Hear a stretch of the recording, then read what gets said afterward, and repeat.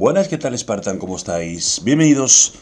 Vídeo más para el canal. Aquí estamos con un poco de información respecto al Halo Infinite.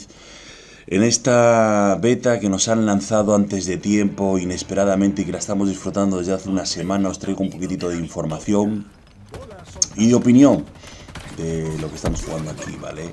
En principio, bueno, ¿qué, qué deciros? Muchísimas cositas que os quería comentar.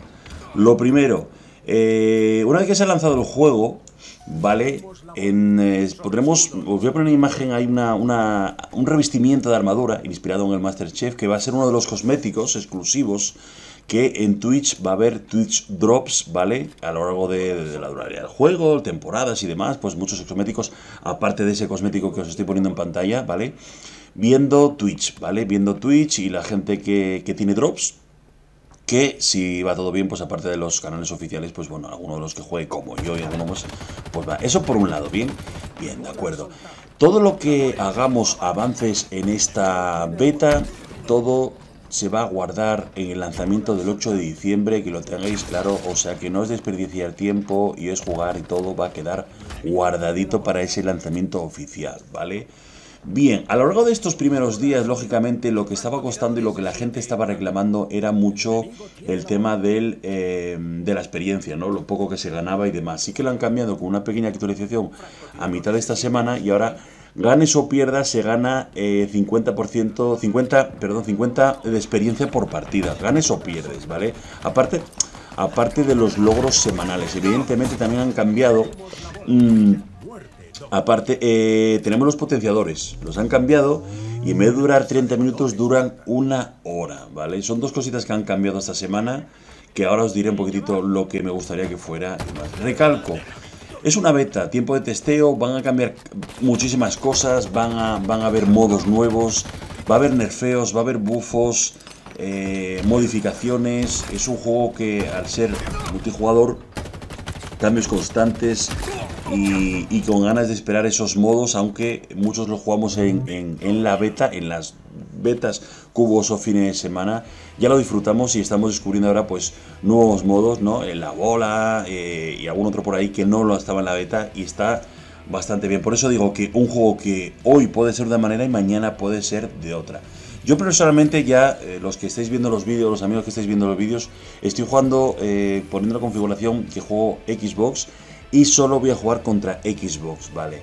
También ha aumentado mi, la sensibilidad. Lógicamente, yo aconsejo que la aumentéis, la bajéis, bajada quizá no, porque sería bastante, bastante tosco, pero sí que la, aumentarla y comprobar cómo os encontráis con, eh, con esos aumentos, ¿vale? Hasta encontrar en un punto que más cómodo eh, estéis. Lógicamente aumenta la sensibilidad eh, a la hora de girar, a la hora de, la rapidez con la que te puedas mover a la hora de los giros, eh, hacia la horizontal, vertical. La verdad que yo lo he notado y he encontrado un puntito que de momento siempre habrá modificaciones y a lo mejor lo subo, bajo algunos puntitos y encontrar la posibilidad de, de estar más cómodo posible para, para, vosotros, ¿vale? No la dejéis en predefinida porque me parecía bastante tosco, ¿vale?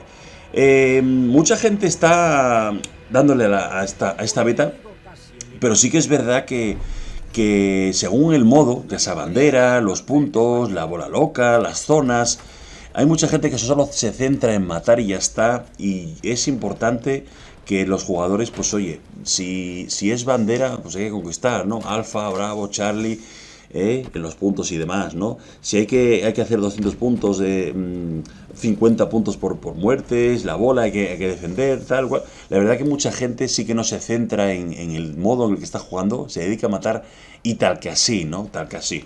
Una de las cosas importantes para mí es conocer los mapas. Es esencial, ya sea pequeño o grande, que vayáis jugando y conocer los mapas, bien todos los entresijos, todos los pasillos, todos los posibles puntos de disparo, de gente que se quede medio campeando, eh, los puntos de, que hay, no solo de, de que hay eh, ítems eh, de armas especiales, que ahora hablaremos, como de vehículos, como de granadas, de, reaparición de, la, de las granadas, como los puntos, ¿no?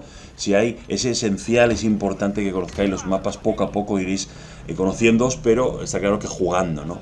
Hablando de las armas, está claro que las armas y los vehículos, la verdad que para mí pueden marcar, sobre todo en esos 12 contra 12, Vale, bueno, 4 contra 4 puede, ¿no? Pero ahora hablaremos las armas especiales y los vehículos, de verdad que pueden marcar claramente la diferencia ¿no? entre la victoria y la derrota. Para mí la marcan muchísimo, muchísimo. Vehículos eh, con, gran potencia de fuego, no se las balas, igual que los vehículos, las naves voladoras y demás, marcan muchísimo, ¿no? O sea que en esas batallas de 12 contra 12, para mí, eh, las armas especiales y los vehículos sobre todo, marcan muchísimo y la gente que lo sepa controlar y demás. Hablar del 4 contra 4 me parece muchísimo más frenético, evidentemente intenso, la verdad. Eh, no te puedes despegar de la partida, es, eh, tienes que ir súper concentrado. Y evidentemente mm, son de mapas pequeños, ¿no? Aquí vigila cada esquina, cada rincón. Y el cuerpo a cuerpo ahí es un eh, pantumaca evidente que aparte de utilizar el arma que podéis utilizar, ya sea la pistola, como yo utilizo mucho, como el, fusil de combate, el, está claro, ¿no? ya, ya os digo que es muy diferente al 12 contra 12 ya son mapas medianos, mapas grandes, vehículos variados, el cual, como os dije antes, pueden marcar el rumbo de la batalla claramente. Y las armas de media y larga distancia son muy útiles, evidentemente, ¿no? En esos campos tan grandes eh, y medianos que hay. Yo respecto al juego, sugerencias, la verdad que me gustaría que dieran experiencia por ganar. ¿vale? No solo por jugar, que en este caso están, como os digo, dando por ganar, dieran más experiencia.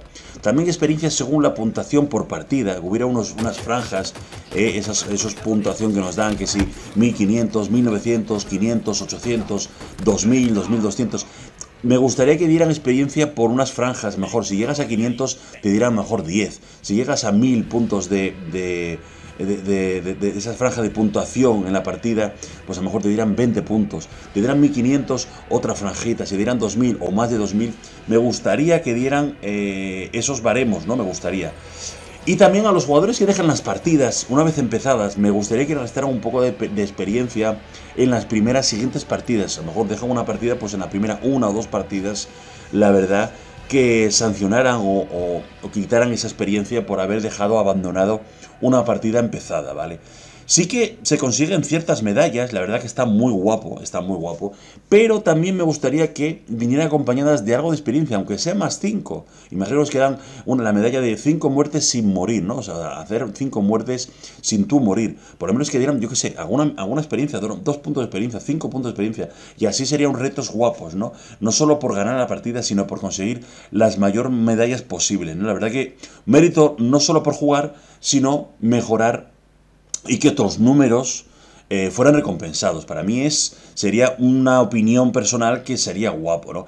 Después de siete días, la verdad que estoy jugando, eh, ayer jugué por primera vez, después de siete días haciéndome un poco con la mecánica, la jugabilidad, mirar la sensibilidad, los mapas 7 contra 7, estoy jugando a las arenas clasificatorias que me está dando pues un especial disfrute, disfrute porque eh, bueno, juguelas te piden primero jugar 10 partidas para darte un rango inicial, que eso es lo de menos porque lo vas, lo vas sumando. Y lo estoy disfrutando mucho, la verdad. ¿Por qué? Porque todos salen desde cero Evidentemente aquí ya no hay pistola, ya hay un rifle de combate, el BR-75, sin sensor de combate, no hay radar, ¿vale? Eso la verdad que hace que te tengas que aprender lo que os dije, los mapas, es esencial. Hay fuego amigo, o sea, que no sea lo loco tal y cual, porque evidentemente.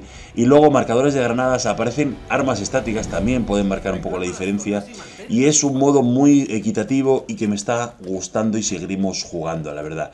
Ahí os dejo un poco mi opinión, seguiremos jugando, estoy ya dándole a, esas arenas clasificatorias con ese pequeño, bueno, por plata y estamos dándole poquito a poco y disfrutando, la verdad, con, con ahora ya, bueno, pues después de estar 7 días dándole, sobre todo me gustaba mucho la pistola, ¿vale? Evidentemente, pues eh, con el rifle de combate, el rifle de combate BR-75 que le estamos ahí dando y sin radar, tal. La verdad que es bastante equitativo el 4 contra 4, muy rápido, partidas muy rápidas y vas creciendo de rango y cogiendo experiencia. Hasta aquí el vídeo, primer vídeo un poquitito de esta info, como os digo, que, y opinión de lo que estamos teniendo, que os recuerdo que es una beta, que va a haber cambios, que va a haber eh, modos que se vienen a futuro, que en el lanzamiento vendrán esos drops por ver Twitch estéticos y que va a ser una gozada seguramente todo lo que venga a futuro y que lo disfrutaremos y lo traeremos aquí. Un abrazo Spartans, nos vemos pronto, adiós, chao.